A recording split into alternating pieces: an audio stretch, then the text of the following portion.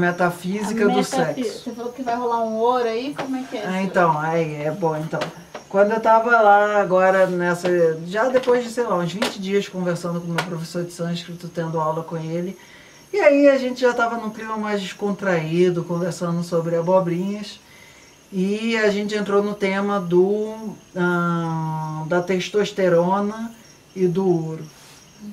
Basicamente, é, a ideia é o seguinte o corpo humano, mas não só o corpo masculino, ele produz micropartículas de ouro e é, através do alimento ele absorve isso também. Sua conexão está instável. Ah, logo agora. O universo ele está falando assim, epa, essa informação é altamente privilegiada, vamos ver se a gente vai liberar. Aí, voltou. Voltou, Voltou, volta, volta. Faz a figa, faz a figa. Só os fortes receberão a mensagem. Aí já caiu mais dois, ó. Foi tipo uma pré-seleção. Ah, então, a ideia é o seguinte: no processo da vida, existem micropartículas de ouro ao redor. E através da alimentação, e no corpo masculino, mas não só no corpo masculino, a testosterona, em algum grau, Mulher tem testosterona. tem também, mas num nível menor. Ah, ela é, digamos assim, um ônibus aonde a partícula de ouro estaciona mais. E o ouro, dentro da perspectiva do Ayurveda, nos tratamentos de metal pesado e tal, ele precisa entrar no corpo e sair. Se ele não sai, ou ele destrói o teu rim, ou ele te deixa louco. E aí, basicamente, dentro da cultura védica, o homem, ele é, digamos assim, o responsável por meditar mais, porque dentro da cultura védica, o ouro está associado à Súria, o Súria está associado à alma, etc e tal. Então, veja bem, não é que mulheres não possam meditar e nem que mulheres não conseguem meditar, mas culturalmente é mais estatisticamente disponível ter mais homens fazendo isso por conta do ouro e barra a testosterona. Eu não estou defendendo que as mulheres não devam fazer isso, escute bem. Eu só estou dizendo o seguinte: por que, que na cultura indiana o. Shiva está meditando e não a Parvati? Não, mas por que que na cultura, hoje em dia, você vai no ritual ayahuasca, por exemplo, 60%, 80% são mulheres e não homens? Tá faltando homem na conta.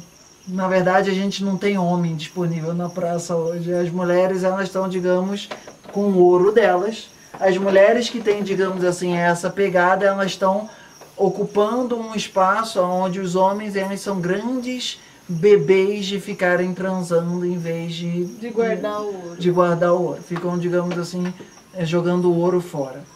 Ah, e aí, a ideia é o seguinte. Esse ouro ele pode sair por duas portas. O topo da cabeça ou O o pênis. pênis. O caminho mais rápido. é O caminho mais rápido é o pênis. E no momento em que esse ouro ele começa a se acumular no sistema, ele, o corpo começa a ficar mais quente. Mais quente porque o ouro, dentro da perspectiva da Ayurveda, é um- uma coisa que tem um vira quente, ele aquece o corpo.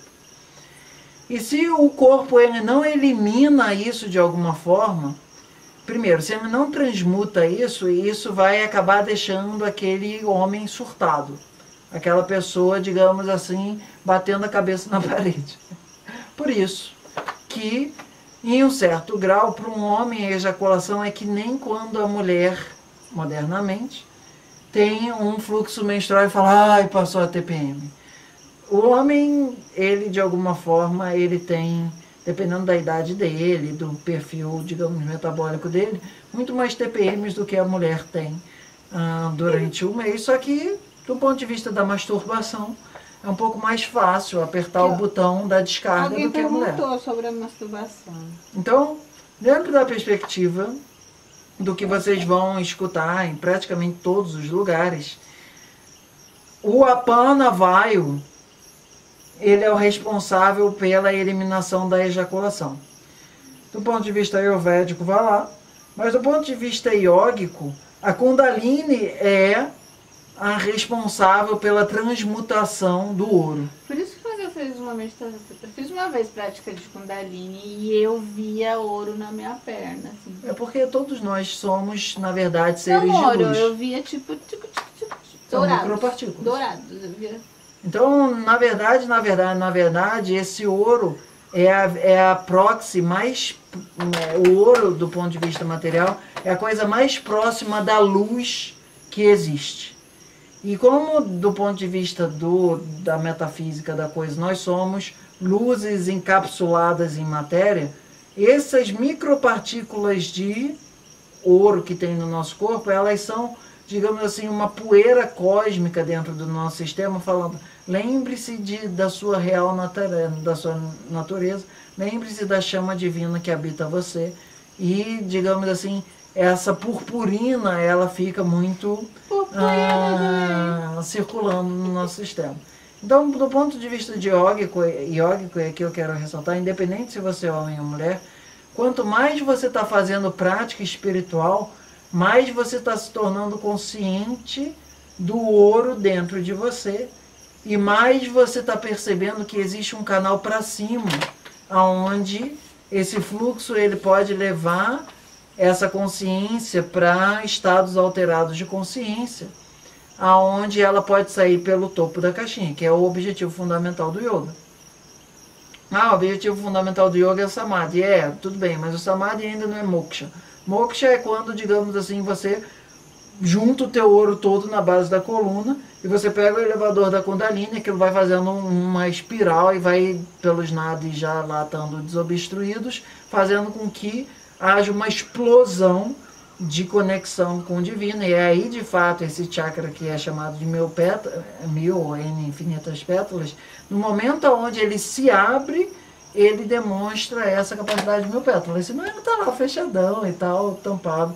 Não é uma coisa que se manifesta. Então, do ponto de vista do praticante espiritual, aprender a cultivar essa essa canalização desse ouro através da coluna, purificar a nossa coluna, purificar a nossa mente, purificar nossas ações, purificar a nossa ah, fala e tal, ajuda com que os nossos nadis estejam adequados para essa, digamos assim, essa usina nuclear interna, que é a Kundalini, começar a transformar um ouro que está difuso no nosso corpo em é, perfeita, digamos assim, fissão interna e fazer com que dentro do corpo humano exista uma reação energética tal qual uma bomba atômica explodindo. Só que essa bomba atômica ela tem que estar, digamos assim, bem canalizada para esse reator não derreter e virar um Chernobyl. E isso ter vários tipos de problema. Então, do ponto de vista que eu acho que é importante comentar é não só homens, mas nós, enquanto homens ocidentais, nós somos grandes beberrões que ah, fomos ensinados a ideia de que o sexo é a fórmula de a fórmula de lançamento. a fórmula de lançamento do nosso ouro. E isso gera vários tipos de distúrbio. Um, quando não tem uma xoxota para você, digamos, fazendo ficar tchuk-tchuk, você começa a ficar neurótico, porque você não sabe o que fazer com aquela pressão de ouro dentro de você.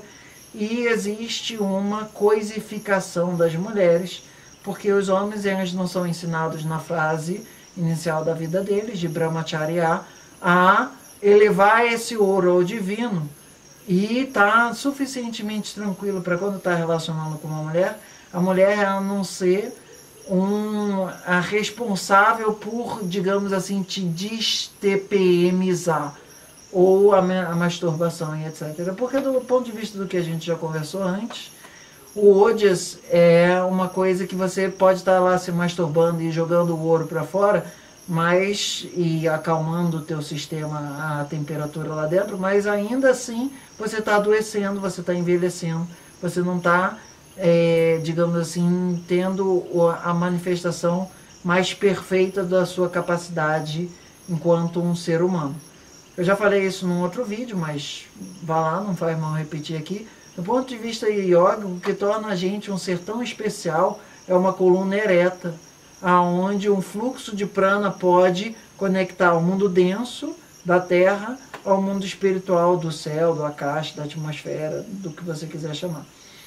Então, ah, do ponto de vista mais ancestral, as pessoas e principalmente os homens, eles precisavam ser durante 20 anos educados, ali dos 5 aos 25, a como lidar com a energia espiritual do ouro dentro deles, para quando eles fossem se relacionar com a mulher, eles se relacionassem a partir de um lugar de respeito e reverência e não a partir de um lugar de escravo do seu ouro que não está, digamos assim, sabendo por onde sair e está ah, precisando excitar o pênis para que ele fuja de alguma forma.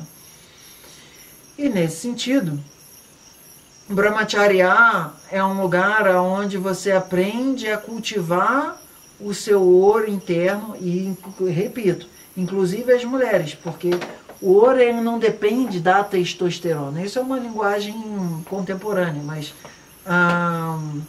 o corpo da mulher ela é desenhado para dar mais ancorar, ancoragem à consciência, para a consciência se reproduzir enquanto matéria. Por isso que a mulher é responsável pela gravidez, pela gestação e por dar a luz por baixo. Porque o corpo dela, ela tem um, um, digamos assim, uma responsabilidade diante do jogo da criação de sustentar a vida material e ela é a mestre da reprodução da vida material. Eu uso aqui a palavra mestra para enaltecer de que esse é um processo tão necessário e tão divino quanto o outro que é o dar a luz pela moleira e estou procurando repetir isso 50 milhões de vezes, 108, para deixar claro que não é só os homens que podem fazer isso, nem só os homens que têm que fazer isso, e nem que a sociedade tem que defender que os homens têm que ser mais escolhidos nisso. Mas do ponto de vista védico, os rishis eram basicamente homens, porque naquela sociedade não tinha se perdido um conhecimento que é educar os, os garotos a se tornarem homens. E nesse sentido, homens são pessoas que sabem lidar com esse ouro interno. E para fechar, a novidade anunciada lá no início da sessão ah, é que em algum momento, não sei se ainda nesse ano, eu vou começar a divulgar, e hoje é uma primeira coisa disso, hum. uma série que. Tiago não é uma série, lançar curso, é um, um curso, um curso online que vai ser hum. Ayurveda hum. de homens. Não necessariamente homens, para homens. Mulheres vão poder participar também. Porque não é, digamos assim. Papo, hashtag papo de homem. Hashtag papo de homem. Ah, nesse sentido de que é ajudar os homens a encontrarem a libertação da escravidão da sua, do seu ouro, a pênis abaixo. Uhum.